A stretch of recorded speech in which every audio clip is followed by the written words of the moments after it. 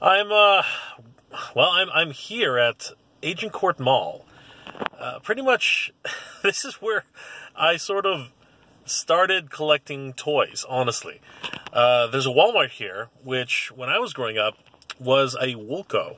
Now that doesn't mean anything to uh, some of my U.S. viewers, but for Canadian viewers, I think a lot of people are going to remember what Woolco was back in the 80s. It was Walmart, pretty much. it was the biggest department store around in, in, in uh, Ontario and a great place to go shopping for toys. They used to have this great aisle of Master Universe toys. And I heard a rumor, uh, a, a, hot lead actually, from one of my viewers, uh, Kid Chuckle. He said that he spotted some Kenner Ghostbusters here. I am hoping beyond hope that he was right. And he also said there should be some Eternia minis here, which I can take a look at. So I'm really hoping to get really lucky today. Guys, wish me luck. This is, this might be the day. This might be the day. Whew! This is pretty historic for me. This is the Walmart, which originally was a Woolco, and pretty much where I spent my entire youth trying to collect Masters of the Universe. So it's really crazy being back here after all these years. You have no idea how nostalgic this is for me. I haven't been back here in years. They finally installed the uh, grocery section here, and that's kind of different from when I used to come here. I have a pretty decent toy section here. It looks pretty big. I'm definitely gonna do some hunting in this area. Tell that uh, Walmart is in the middle of refreshing because I'm in the uh, what I would have to say is the doll aisle. And you can see nice displays, like you see the Disney princesses up here. But then you look up and you see Transformers. And there's definitely no Transformers in here. I passed the Transformer aisle quite a bit a while ago. And Marvel's in this section too, yeah. So they're definitely refreshing, moving all their displays over a little bit at a time. Yeah, that can't be easy. That thing must weigh a bit of... Yeah, you're gonna hurt yourself if you try to move that. So, yeah, fun stuff. This is actually a really, really big toy section. This toy section is ridiculously huge. In terms of like the the WalMarts that I've been to, this is literally like four, four to five, actually more like six aisles of toys. It's good to see. It's good to see that there's a lot more toys in this section. Crazy. Happy to see that see if they have what Kid Chuckle said they had. So I'm just wandering around, taking a look. oh man, after so long, after so long of looking for these things, I finally find them. This is crazy. Check it out. There's Peter Venkman. Oh, Egon Spengler. Wow. Winston Zeddemore. And as we've already seen right at the top, there is Ray Stantz. Crazy. Just crazy. So glad to finally, finally have these guys in my collection. This is amazing. Thank you. Thank you, Kid Chuckle for giving me this tip. That was, that paid off. I gotta tell you, it's important for us, you know, as collectors to really support each other, you know, like we gotta keep those scalpers away. Unfortunately, I think that's it for the pegs. Now, here's a funny thing. Um, Kid Chuckle told me that if I couldn't find them here, there'd be a way, if uh, what Kid Chuckle told me was true, he found a few more and put them away just in case I didn't catch those on the pegs. so this is something I mentioned the other day. there are a lot of good friends who do stuff like this for each other. Uh, and you know what? I do have to thank Kid Chuckle for doing this. But it's only fair that we put these back in the pegs for other people to have a chance to get at them you really should look around in case you are looking for something because under the clearance aisles you might find pretty cool items like this Chitauri here. That's neat. Of course, the Pixar ones, which we already saw, which are on sale for $7 here. But what would really get you and surprise you is that toys start ending up in places you wouldn't expect. Check this out. Here's Megatron, and I know he's not on sale yet. He's just hanging out here. And if we look further, look, here's another Beast Morphers, just hanging out. Yep. Kids pick these things up, beg their parents, and their parents, of course, are like, no, it's not your birthday, it's not time, you don't have good enough grades, whatever. And yeah, basically, they come back into the final aisle with, just before they leave. And it's like, nope, put it down, put it down, put it down. and that's pretty much it. Oh, look at this. This is a brand new, brand new Imperial Stormtrooper on Hoth. This literally just got released. So you know that some kid just put picked this up and said, you know what, I want this, I want this, and he, the parents made him put it down right before they left. Crazy. I gotta tell you everybody, if you are looking for these things, look everywhere, because something like this, which is not supposed to be here, and like I said, this is like wave three or something like that, yeah, it's right here, and it wasn't where it was supposed to be in the Star Wars section. Crazy. So I got mine and we're gonna put these back because the other people need a chance to pick these up so always great to see these things back on pegs. This is really what it's about guys. Give other people a chance to get these. So I'm gonna take these to the front. Yeah what a successful tip. Thanks again Kid Chuckle. Amazing. Just amazing. Whew. As I was leaving, there it is, Eternia Minis. I'm going to take a little bit of time and uh, dig through these to see if there's any uh, H's, but I'm not that hopeful. but good to see it here, because the Motu section is pretty empty. At least I haven't seen it in this area here, so. Yep. On it continues, everybody. Wow, that was incredible. After all these years, having come back here to Agincourt and coming to Agincourt Mall at the Walmart, which used to be a Woolco, where I pretty much, I'm almost 100% certain that that's actually where I picked up the original versions of these characters when I was a kid. It's so gratifying to finally have hunted down all these things and kind of poetic that they all came back to Agincourt Mall, where basically my entire toy collecting journey began. So this is amazing. This is great. Thanks, Kid Chuckle, for giving me this tip. It really paid off. Finally, I have the complete first wave of the real Ghostbusters vintage Kenner action figures.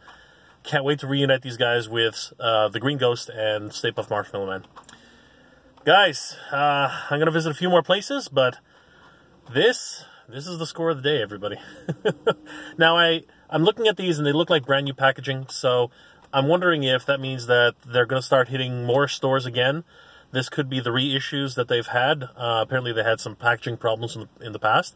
So I would encourage everybody to keep their keep their eyes out, and everybody help your your uh, your fellow collectors. Kid Chuckle really uh, came through for me. He told me where this was, and you know what? That's huge. We all have to help each other. Don't let Scalper Sam get these. He doesn't deserve them. He's just going to put them on the secondary market, pump up the prices, and make collectors like you and me really pay way too much money for this stuff. So definitely do what's right. Talk to other collectors. Let them know where this stuff is. Guys, this is so great. All right, on to the next one. The hunt continues. Teela and Beastman are still out there. The area, I have to go check out Toys R Us. I'm not looking for anything particular, but I, I have to. How can you not get excited when looking at that? Come on, seriously. That's just crazy. See what I mean? It's just wall to wall, to wall to wall, and more walls of toys. You've got to love it. Wars out, and nothing's really changed too much here. Pretty much everything I've seen. Oh, okay. But there is the Empire Strikes Back. Luke and Luke Skywalker and Yoda for the Jedi training. Huh. Looks like a nice pack, actually. Oh, hello, what's this? Check this out. As I said, look everywhere. Underneath the sail, look who it is. It's one of the Mandalorian heavy infantry troopers. Crazy. Let's see if there's anything else back here. No, looks like more of the same. Uh, I was hoping to find Mando or maybe Boba Fett. But they're so popular. Getting your hands on one of those in the wild is it's like hitting the lottery. Uh, yeah, lots of Lukes, a few Yodas, and some Hans. Pretty cool. Oh, here we go. Clone Commander Wolf. K-2SO. There's Luke Skywalker Stormtrooper. Yep. Standard stuff, but still pretty cool. Halloween's coming. Looks like they got the masks out.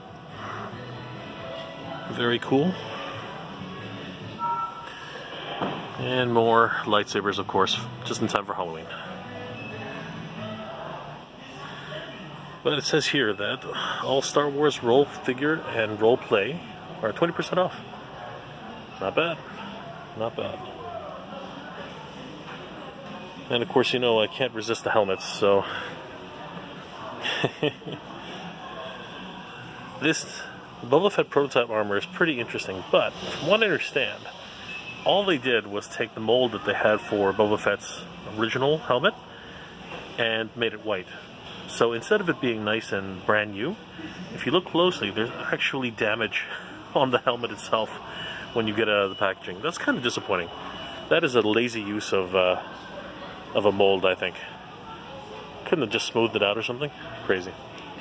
Oh, check it out. Here's the Hyper-Real Luke. I've been looking at these Hyper-Reals, and they do look awesome. Luke himself here looks pretty wild. It does, yeah, it does capture the likeness of Mark Hamill for sure.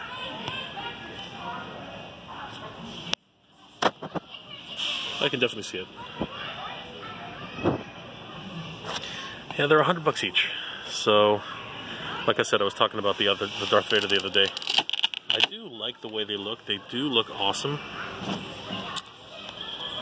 For a hundred bucks each, hmm. I do have to think about it. Anyway, let's move on. Here's the Ranger section.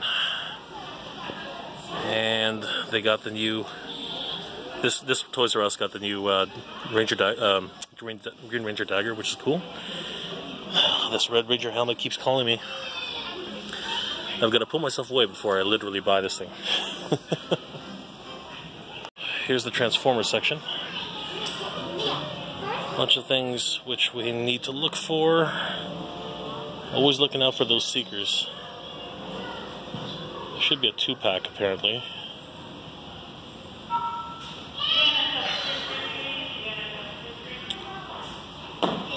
Yep, here's the siege Starscream again. Hmm. I don't see the other Seekers though. Man.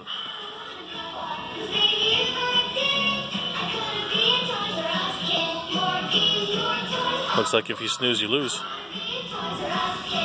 But I was able to get by the Mega Construx here and take a look at what I saw. Yeah, it's Roton. So he's here and available. There are about, oh, actually there are a ton of sets. At least four. Um, yeah, if not more. There are a bunch of them. So yeah, I'm gonna see how much this costs and uh, yeah, find out if I'm taking it home today. uh, crazy.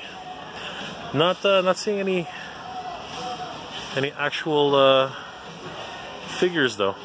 It's too bad. Oh well, we'll have a look. A buddy of mine just called um, Kid Chuckle. And he was telling me that they actually might have a secret two-pack here.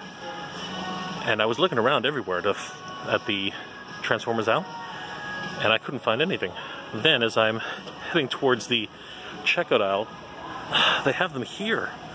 And luckily they have one per customer. So that's crazy and look right below it Scorponok oh man this is crazy so if anybody's actually looking for the secret two-pack let me see if I can get a, a, shot of it yeah if anybody's looking for the secret two-pack which is Skywarp and Thundercracker you have to ask at the front because they're not gonna they're not gonna give them uh, and put them out on the floor.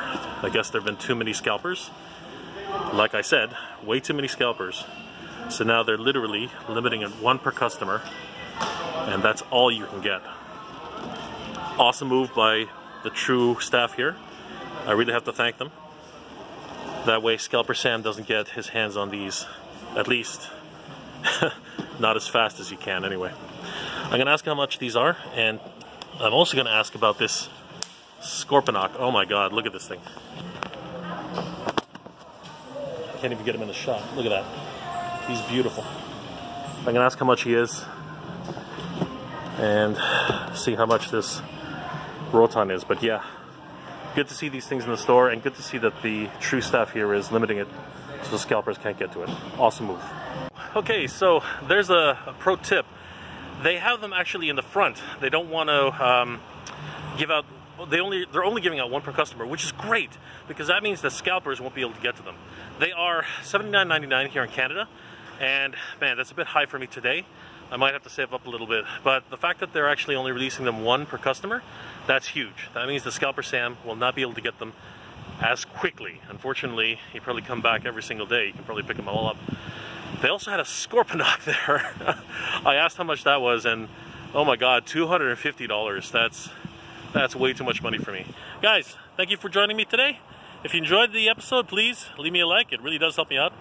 And as always, everybody, thank you very much for watching. Geek Proud.